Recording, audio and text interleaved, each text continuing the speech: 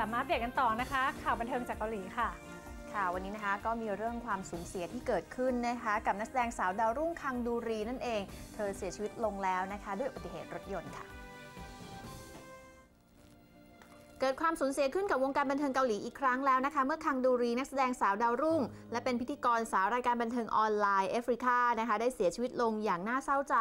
ในวัยเพียงแค่ 22 ปีเท่านั้นเอง จากอุบัติเหตุรถชนเมื่อวันที่ 14 ธันวาคมที่ผ่านมาค่ะโดยหลังจากที่เสียชีวิตนะคะ ทางครอบครัวของเธอก็ได้นำร่าง ไปตั้งไว้ที่สถานจัดงานศพแห่งหนึ่งในเมืองอินชอน ส่วนพิธีศพจะจัดขึ้นในวันพรุ่งนี้ค่ะ ทางดูรีเพิ่งจะมีผลงานการแสดงเพียงไม่กี่เรื่องค่ะ โดยเธอร่วมแสดงในดราม่าซีรีส์เรื่อง Insolently Go Go ของทางสถานีโทรทัศน์ KBS ที่เพิ่งจะออกอากาศไปในเดือนพฤศจิกายนที่ผ่านมา ส่วนสาเหตุของการเสียชีวิตของคังดูรีค่ะ ก็เนื่องมาจากอุบัติเหตุรถชนนั้น ในขณะนี้ทางเจ้าหน้าที่ตำรวจก็กำลังสืบอยู่ค่ะว่าต้นเหตุที่ทำให้เกิดความสูญเสียในครั้งนี้ เกิดจากสาเหตุอะไรกันแน่ค่ะ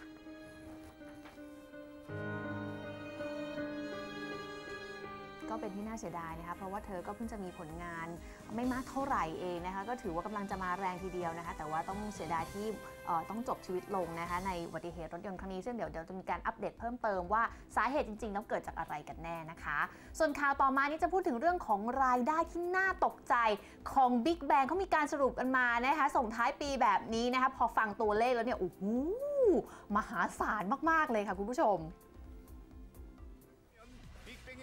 ในตอนล่าสุดของรายการยองแดนกงแกนะคะได้มีการวิเคราะห์กันในรอบปี 2015 ที่กำลังจะผ่านพ้นไปว่า Big Bang มีรายรับเป็นจำนวนเท่าไหร่ ไม่ว่าจะเป็นรายรับจากยอดขายอัลบั้มซิงเกิลการทัวร์คอนเสิร์ต แล้วก็งานอื่นๆ ในวงการบันเทิงเกาหลีค่ะซึ่งผลการคำนวณของรายการนะคะทำให้ผู้ชมถึงกับอึ้งไปเลยค่ะ กับรายรับของวง Big Bang ที่ทำได้ทั้งหมดภายในปีเดียว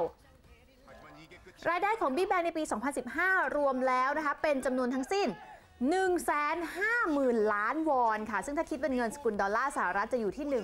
126 ล้านเหรียญ และถ้าหากคิดเป็นเงินไทยฟังดีๆนะคะ จะมากกว่า 4,500 ล้านบาทค่ะ ซึ่งเป็นตัวเลขรายรับที่ฟังครั้งแรกเนี่ยอาจจะคิดว่าฟังผิด แต่ต้องบอกเลยว่า Big Bang เนี่ยมีรายรับในปีเดียวเป็นจำนวนมหาศาลขนาดนี้จริง ๆ ค่ะทางรายการได้คำนวณเพื่อแยกแยะช่องทางรายได้ในส่วนต่างๆ ของ Big Bang ค่ะ โดยแบ่งออกเป็นรายรับจากซิงเกิลทั้ง 4 เพลงจากอัลบั้มใหม่ซึ่งอยู่ที่ 5 ล้าน2แสนเหรียญสหรัฐ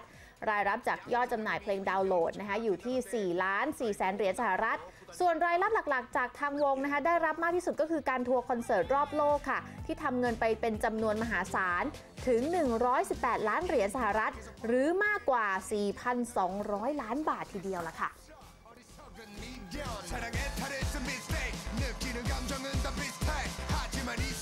เคยเป็นห่วงว่าทำงานขนาดนี้เหนื่อยกันไหมโอ้คุ้มเหนื่อยนะนะ เราเจอตัวเลขไปเมื่อกี้ปีเดียวซัดไป 4,000 ล้านใช่บาทไทยค่ะ สุดยอดจริง ๆ แต่ว่าเขาก็มีถึงมือจริงๆแหละเนาะอืมไม่ว่าจะเป็นถูกต้องทุกงานของเขาเลย เพลงก็เลิศ MV ก็เด็ดโอ้ใช่อุ๊ยเดี๋ยวพูดถึงคอนเสิร์ตที่เวลาเขาเล่นสดนี่สุดยอดจริง ๆ นะคะ ก็ให้เขาไปเถอะเอาละค่ะ ตอนนี้เราพักกันสักครู่นะคะ เดี๋ยวเรากลับไปตื่นเต้นกันก่อนกับรายรับนะ และเดี๋ยวมาดูกันค่ะ